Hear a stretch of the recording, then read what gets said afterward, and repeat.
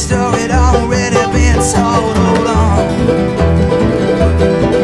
Hold on. I said, hold on. Hold on. They marched him up to the doctor's door. He said,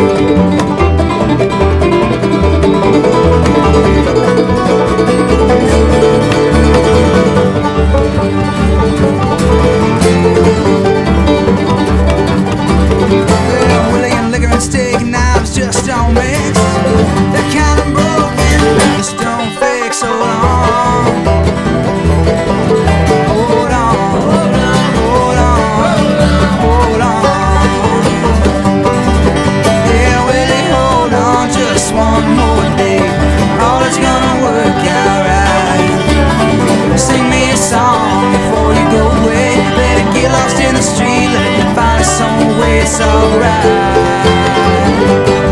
It's alright.